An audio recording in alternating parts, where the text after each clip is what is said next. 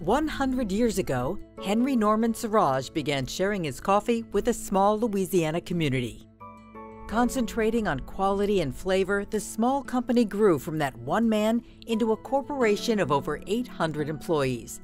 Led by the same family, striving to serve an enticing cup of coffee and connecting with people all around them. His product he called community community coffee in honor of all the neighbors and everyone who had been so good to him up here in Baton Rouge. That blend of flavor and service has intrigued and captivated generations. The magic in our name today is that community does mean something. Uh, to, in today's time, people are seeking community. They're seeking relationships. The sense of community is a very powerful thing. In the early 1900s, Louisiana's capital city, Baton Rouge, was relatively small and quiet. Few of the 11,000 people who lived there could imagine the change, big change, heading their way. I like to say that the Baton Rouge has two periods of history, BSO and ASO, before Standard Oil and after Standard Oil, because 1909 changes everything for Baton Rouge you can see where the cotton stalks are still crisscrossing the land. They didn't even bother to clear the last crop. Um, it was so urgent to go ahead and start building this refinery. Two brothers, Frank and Henry Norman Saurage, they called him Cap, knew people were going to need things. And so he and his brother opened a grocery store right there at the gates of where they were building Standard Oil, and that was the beginning of his grocery business. One grocery store turned into two. After Frank became ill, Cap took over and named the last one the Full Weight Grocery. Back in those days, everything was weighed out. There weren't things in cans or bags or anything like that. So to give full weight was really, really important. And that's why he named it that. Because someone would come in and say, No, don't you put that thumb on the scale. And so to say that you gave full weight really said something about your values. And he would blend roasted coffees and create these these flavors and serve coffee to the neighbors who came to see him at the store. It was the only thing he gave them for free, but he would give them a cup of coffee. And they, in turn, liked the coffee so much they started buying it from him. So he would put it into a little craft brown paper bag and sell it to them. Well, the coffee business started to grow. And so in 1919, he decided that he would focus his time on coffee and then named that coffee Community Coffee that we know today and he named it Community after those friends and neighbors who had come to the store and visit with him. Cap sold his stores and concentrated on coffee. Particular about his blend and flavor, he brought his work home, literally, turning an old barn behind his house into a mill. His son, Henry Norman Jr., HN was his nickname, grew up doing chores in Cap's growing business. It was probably more an interest that caused him to go into coffee. I believe he liked the people that he met.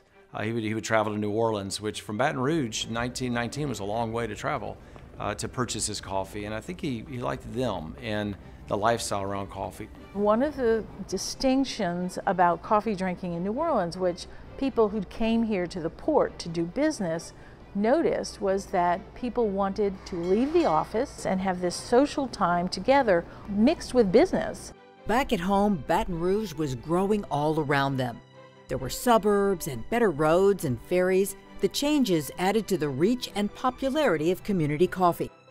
And a new bridge across the Mississippi River made it a lot easier to come and go. Community Coffee had eight trucks on the street, but what they really wanted was to be in the driver's seat in quality control. My grandfather said, you know, we could really improve our quality of this coffee if we controlled more of the aspects of quality, the roasting of the coffees, um, the selection of the coffees. And so my grandfather really brought that into the business. Cap and his sons, H.N. and Leonard Carey, made it a true family business, becoming partners. Their combined capital, nearly $26,000.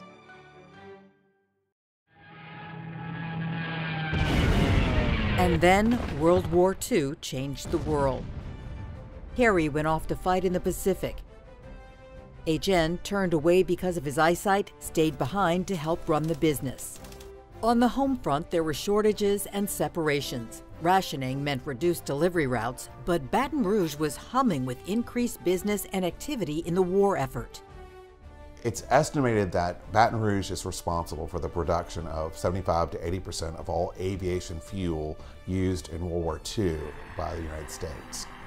And that growth brought enormous changes to Baton Rouge. In 1944, word came.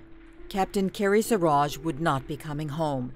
He had sacrificed his life to protect his men and their mission on a hill in the Solomon Islands. Things would never be the same, but CAP and HN would carry on as partners. Post war ushered in a whole nother boom that was unlike anything we'd ever seen before. So it was a city of people that were moving in and, and new peoples, a new identity, new place. Baton Rouge was changing drastically. Community coffee was changing as well and leaving the backyard mill behind. They needed some packaging machines. Everything was just being hand packed. So he purchased some property on Riverside North up here in Baton Rouge, right on the river, and built our first plant. By 1952, Community had 84 employees and 23 trucks in their fleet. And Cap and HN wanted to try out some different marketing, some Louisiana lagniappe, a little something extra. Cap and HN got the idea of putting a premium coupon on the top of every bag. And if you save these little coupons, you could get something extra. And so we had premium stores in six cities in Louisiana where you could go in and take your coupons and you could get sheets or towels or pots and pans and lamps. And we called them our premium stores. It encouraged brand loyalty, and the stores were popular for years. What will it be this morning? Coffee? Yes, Gracie. Cup of coffee before I start out. And then something came called television. We heard about a man named Jim Henson, just kind of out of college and going into business, and he had these funny things called Muppets. So he did some of our first TV commercials. How about a cup of community coffee? Oh, let me have brand X. Okay. Ooh, that's smart. It was two Muppets, and one was grumpy and one was happy. And they were little hand puppets. And these were these were funny 10 second commercials.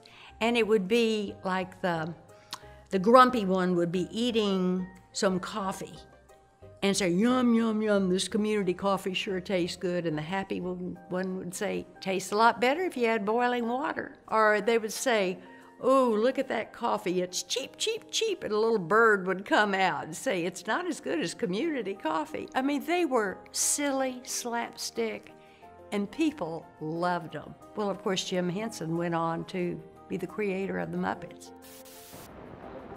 I forgot my parachute. How about the community coffee? I forgot that too. You'll never forget this.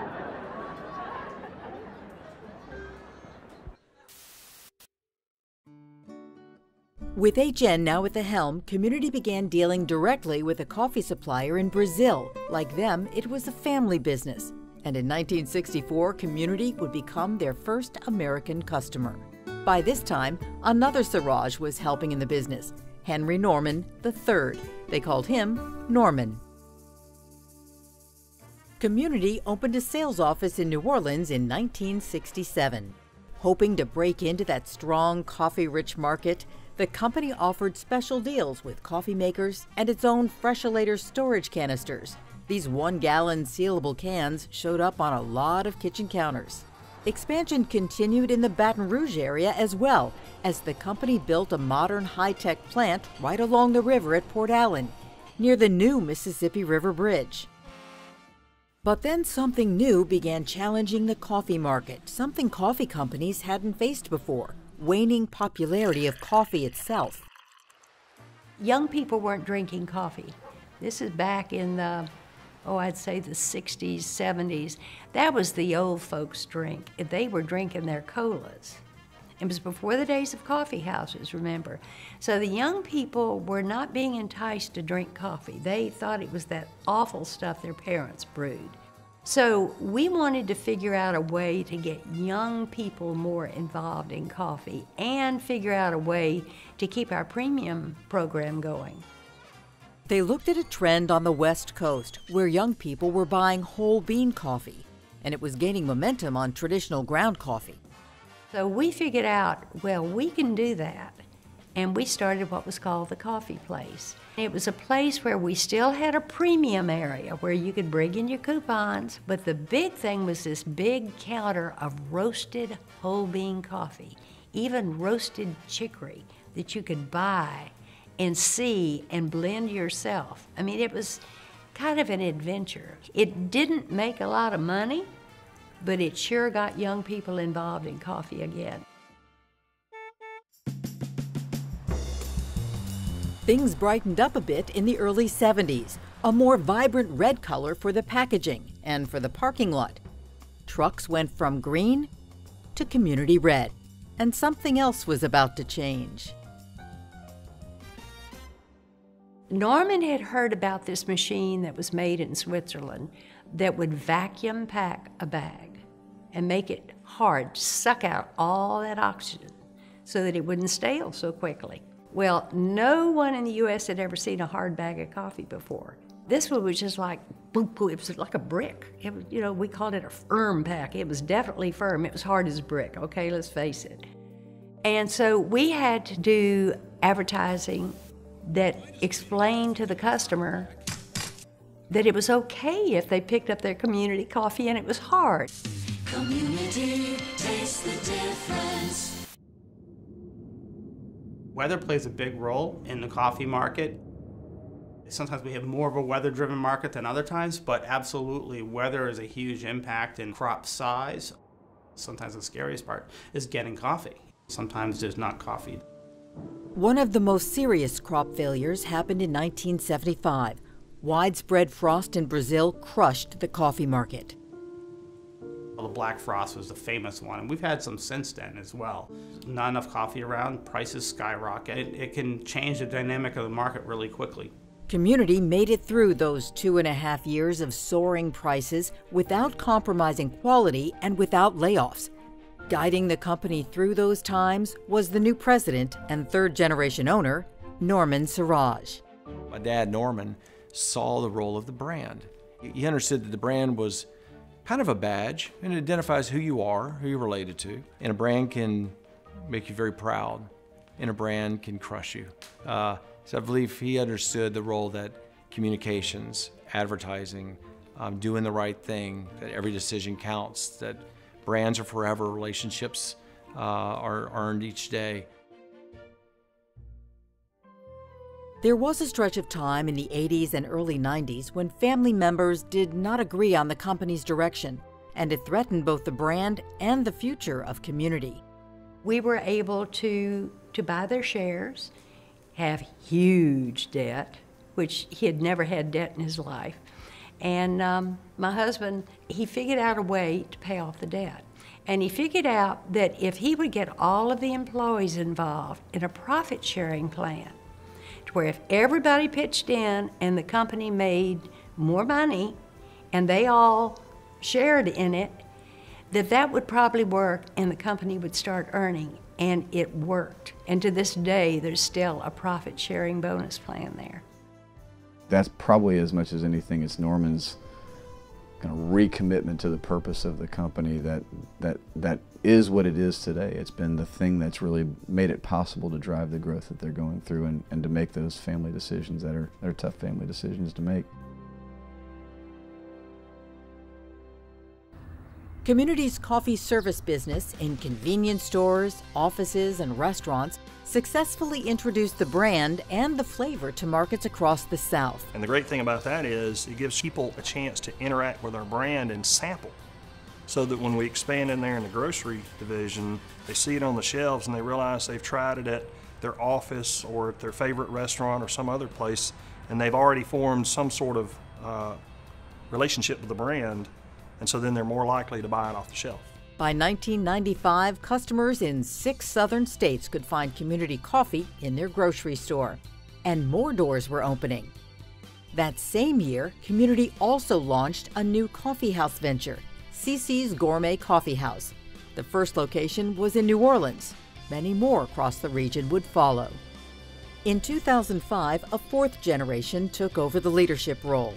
Matt Saurage became president and CEO. Coffee is a very complicated business in that it is a global business. There's a lot of players and it's international rules. So uh, you have to confirm what you assume and I pay close attention. So that's why we go to origin. That's why we try to get our, our boots on the ground, our hands on the land, and meet the people who are caring for the farm who can do the best job for us to produce our coffees. We go out and buy different coffees from different origins um, to kind of create that profile. So, so there are coffees that are much more big body, sweet, nutty, chocolatey driven coffees. Now we also blend that in with some coffees that bring out some different aspects of flavor, kind of bring that all together. Uh, a tree of, uh, produces somewhere between one and a half and two pounds of coffee. So it's a lot of work. I mean, it's, it's astronomical. You think about a lot of this coffee is hand picked. Well, the coffee bean is not a bean. It's bean shaped, but it's actually uh, the seed. It's a seed. Two beans make a seed, and it's a seed of a coffee cherry. So the tree that produces coffee produces uh, these green cherries that turn red when they're ripe. Once picked, the beans are sorted and washed. It's a labor intensive process where the red fruit and a pectin covering around the seed are removed. They'll wash off and make sure it's nice and clean, at which point they move it out onto a drying patio and it will be dried there. A parchment like shell protects the seed or beans until the milling process cleans and sorts the coffee by density and color. At which point it is shipped to the port of New Orleans and then taken by truck to Community Coffee. Here in Louisiana, we prefer that smooth, chocolatey, delicious, rich flavor. So coffee starts out as a green seed. It goes into the roaster, and you'll see that green start to turn yellowish as that roasting process is mostly just evaporating out the water. Roasting takes the bean temperature to between 350 and 450 degrees Fahrenheit. That's bean temperature. The temperature inside the roaster is between 600 and 700 degrees and then you start to see it turn brown. What's happening there is the first couple of things. You start to change chemically the coffee. The coffee's, uh, you know, browning of proteins and browning of sugar, and then you start to get some of the sweetness coming out, and even some acidic notes as, as that coffee starts to burn off some acids, and the coffee basically puffs up, doubles in size. Really, coffee before that point is not palatable. That's when the real roast starts to happen, and that's when the oils and lipids um, start to come out of the coffee, and that would be considered a dark roast at that point in time. Coffee cupping is, is a coffee tasting, and so it's attended by maybe three people, three individuals. Never, no one ever cups coffee alone. Uh, you always want to have somebody with you because uh, we all taste different things. It's done at least weekly, and at least one Saurage family member is always at the table. There's a standard form for recording different aspects of the coffee. So you know, we want to evaluate how's the aroma, how is the flavor, how's the body of the coffee, and body would be you know, the weight of the coffee on your palate. Is it heavy or is it light? And acidity, and acidity is brightness. It's, it's not tartness, it's really brightness of the coffee. And then aftertaste. What's your memory of it? Is it pleasant? Okay, so uh, I think we're ready to start. So. It taste coffee is probably uh, fun to watch. It, it certainly is fun to listen to to taste a coffee, you want to sip it very quickly and, and with lots of air into, into your mouth, and so that you can, uh, it sprays the coffee across your taste buds. And through that experience, you can pick up uh, defects, subtle tastes, things that nuances you may not actually experience just drinking a cup of coffee, but it is part of that coffee. After they've all tasted and graded every sample, then they talk and make the final decision about accepting or rejecting the shipments. I really like this coffee. This coffee had both acidity and body, um, good balance between the two. Like I got a, a, a hazelnut note, uh, buttery. Yeah, buttery and like, like a, wow. this hazelnut note, which uh, would like this. I did the same thing. Yeah, uh-huh. but I couldn't put into terms what it was. I actually put celery. I, I couldn't get it, but it was hazelnut. Celery. At the cupping table, you're making decisions usually uh, around 40 to half a million pounds of coffee at a time. So the cupping exercise is, is very particular. Wow.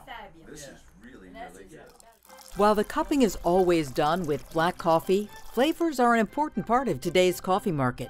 And actually, one particular flavor has been a part of community coffee from those beginning years. So chicory.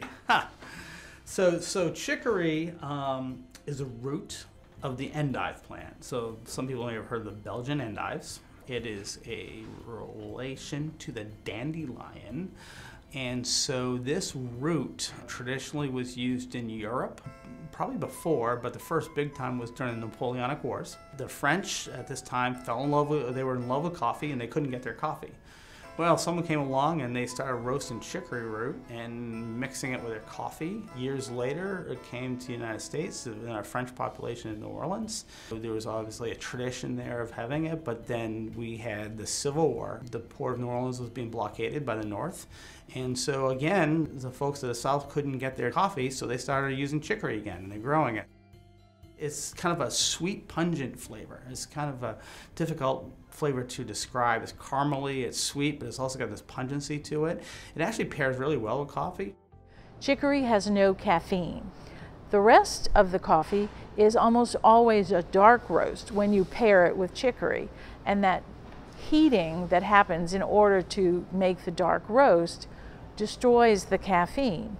So if you have dark roast coffee that has less caffeine and you have chicory which has no caffeine, you're having a very low dose of caffeine when you have a cup of coffee and chicory. And I think that's one of the reasons we developed such a coffee culture because we were able to drink it all day.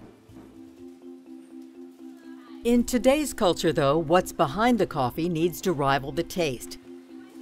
Taking care of the customer for sure, but also taking care of the people and the land behind the brand. There's over 25 million families involved in coffee farming around the world. So it's a people business, it's a family business. You have to care about sustaining not only the agriculture, but sustaining the culture of the community that grows the coffee. People want to support a brand that they can connect with and believe in. And if you're doing good for someone somewhere, whether it be in your local community or somewhere around the world, they can connect to that brand, and that matters today. And the neat thing is, is that we were all about community before being part of the community was maybe cool. So it's something that's always been part of our DNA is giving back, and and whether it's uh, education support, military support, first responder support, disaster relief. That's always been part of what we do. In a lot of ways, um, we think about some of the greatest companies are those companies that have this conscious capitalism. They they think about their service to community, their service to people as part of their their purpose. The interesting thing about the family giving is that it's very focused on achieving a social benefit without any reflected glory. But when the company gives, they would like for the consumers of their product to know that they're doing this good work and these are their values. National awareness of the brand really took off a few years ago when Community got on board with the new partnership. Community began to be the preferred coffee on Southwest Airlines. A lot more folks get to try it, but it was also just a sense of pride as a state that our coffee company was in that space. Southwest, the seventh most admired brand globally, over 50,000 associates. For them to partner with us, they had never done this before. They had never co branded with anyone on their flights. For them to put our logo in conjunction with theirs on a cup on their flight spoke volumes. Love seeing the pictures from our consumers, the little picture of the coffee cup with our logo on it saying, I found you on, on the plane. Every taste helps in this changing coffee market. Competition from established companies and micro roasters require thinking outside of the cup.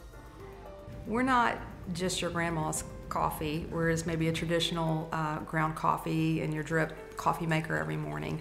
Today in grocery, the single serve format is about half of the sales in the grocery store.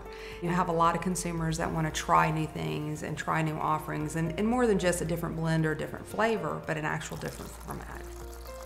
But now we're seeing coffee that's being eaten, coffee gum, coffee candy bars, coffee breakfast bars. So I think you know, coffee's got a long runway ahead of it uh, in, as far as innovation, but it's driven by understanding that consumer.